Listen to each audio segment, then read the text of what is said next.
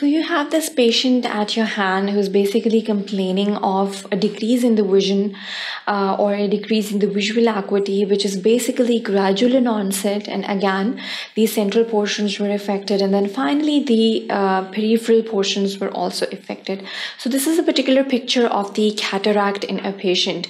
Usually these patients are senile. Usually they are diabetic or they are suffering from some sort of syndromes. Now, when you are particularly looking at this uh, complete clinical picture, you're going to focus on the signs and symptomatologies uh, just to diagnose what sort of a cataract that the patient is suffering from. What is the stage of the cataract is again very important. When we say the staging of the cataract, we basically mean the classification or referring to the classification uh, in which we basically classify the cataracts depending upon their maturity. It can be um, an immature, a mature cataract. On the other hand, we have the hypermature varieties and we have the Morgagnian varieties. So depending upon the uh, type of the cataract that we are dealing, again, we have the morphological classification as well. Knowing these classifications, they are clinically significant because the treatment is going to lie upon this diagnosis, the treatment is going to lie upon this types of the cataract that we are dealing with. If it's a nuclear cataract, the management is going to be different from a uh, the management of a cortical cataract.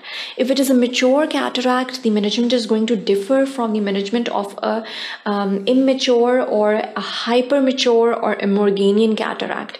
So these are the management guidelines that we have to keep in mind. Again, the aim of the uh, surgery or performing these surgeries in the cataract patients, although they are the old age patients, why, why do we need to perform these surgeries? Uh, it is affecting their work, it is affecting their daily lifestyle because sometimes the visual acuity is decreased to the level of the hand movements or uh, the glare is causing a lot of problem to these patients to, to so basically to improve the quality of life of the patient to increase the mobility and to basically allay that fear uh, that the that the person is going to go blind these are the particular aims or the objectives uh, for the performing these particular surgeries in the patients of the cataracts so we have to keep in mind uh, that the mainstay behind the formation of these cataract surgeries uh, is the improvisation of these lifestyle changes um, in these patients over here. So the clinical features again are very important. Knowing the past medical history is also very important. The past medical as well as the past surgical history um, is very important over here. Why do we need this? Because uh, if the patient has undergone any recent trauma, that is going to relate towards the formation of the cataract in that particular patient. So one should know uh, what kind and what sort of a cataract one is dealing with and what are the causative factors towards the development of this cataract uh, in, the, in this particular patient whether it is the age, whether it is the systemic diseases, for example, diabetes mellitus, um, in this particular instance as well as we have the other modalities that are basically relating towards the surgical causes of these uh, cataract extractions. Now, over here, it can be the intracapsular cataract extractions. We have the extracapsular cataract extractions. The intracapsular cataract extractions are basically obsolete these days and they're not performed, but in some cases, we perform the extracapsular uh, cataract extractions for some of the patients. Then we have the treatment modalities in which there is an early diagnosis of the cataract in the patient. So we have these um, verifications for the phacoemulsifications or the indications for the phacoemulsifications. What basically happens over here is uh, it's the uh, newer techniques that are devised these days and basically relates towards the use of the laser technologies that can be modified uh, to the development or the towards the treatment modalities that can be inculcated in the treatment of the um, uh, cataract surgeries in the patients. Uh, the the results of these phacoemulsifications are amazing in the patients. Uh, so it's usually preferable to perform these phacoemulsification techniques in the patients. Now, just having an overlook towards the intracapsular cataract extraction, it involves the extraction of the entire lens. So, including the posterior capsule and as well as the zonules of the lens, the surgery of choice if there is markedly subluxated lens or dislocated lens replaced by the extracapsular cataract extraction. So, this is the um, uh, technique that was used in the past. Basically, it involves the uh, treatment for the subluxated kind of lenses. The steps that are included over here, the eyes with a cataract over here, you can see uh, the incision is given right over here. The lens implant is just put aside. The disease lens is pulled out and the incision is given. This is the cornea, this is the iris. The implant is inserted. It's basically the lens implant. It's an artificial lens. Uh, that is basically, um, it's the prosthesis that is used in these uh, surgeries. The lens is implanted into position and that now the newer lens, which is uh, replacing the opacified old lens, uh, is placed over here in these kind of techniques. Then we have the extracapsular cataract extractions. Um, what what are the steps for these surgeries? Uh, five to six millimeters incision where the cornea meets the sclera. So it's the joining point, and there we give the incision just to reach uh, the lens. Another small incision into the front portion of the lens capsule. The lens is removed along with any remaining lens material, and an IOL. IOL is basically an abbreviation towards the intraocular lens may then be placed inside the lens capsule, which is basically a prosthetic lens, is replacing the uh, natural or the lens which was opacified previously. So this is the complete procedure for the extracapsular cataract extraction over here. Now, what are the complications that are relating towards these surgical procedures? It is the endophthalmitis, that is one of the uh, complications that is seen over here. And then we have the cystoid macular edema that is observed in a lot of uh, patients. After these surgeries are performed, we have corneal edema, that is the inflammation of the cornea. Uh, that is seen we have the hyphemas in which there is the new vessels are basically formed at the junction of the incision.